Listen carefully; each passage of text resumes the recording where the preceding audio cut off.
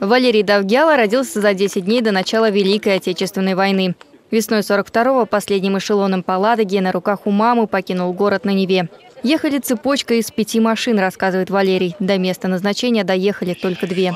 Остальные затопили бомбардировщики. Несмотря на то, что я был маленький, вот когда я вернулся из эвакуации в 44 году, да, я вот, тем не менее, э, вот, хотя, как говорит, вплотную не сталкивался с этим, но я увидел пленных немцев.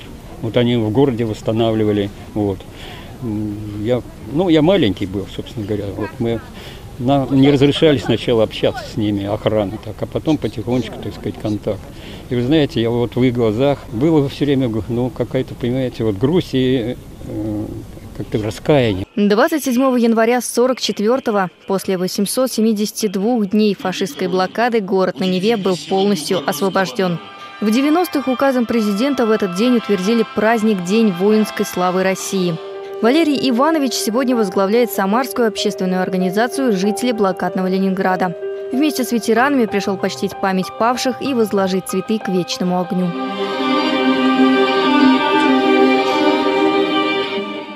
Вслед за ветеранами почтить память пришли и молодые ребята, курсанты.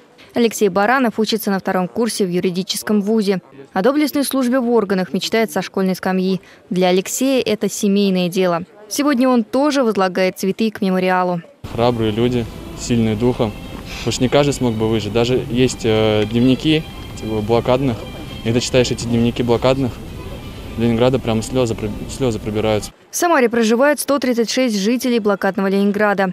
В 90-й школе работает музей, посвященный событиям тех дней. Экскурсии для детей проходят ежедневно.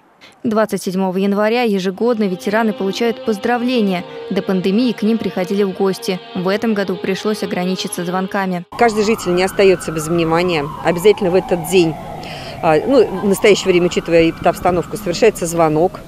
То есть, чтобы человек понимал, что о нем помнят, вот, заботятся и поддерживают. Сегодня очень важно сохранять память о Великой Отечественной войне и передавать из поколения в поколение пример Э, мужества, выдержки э, и, знаете, вот э, того взаимопонимания, той взаимопомощи, которую пережили жители блокадного Ленинграда.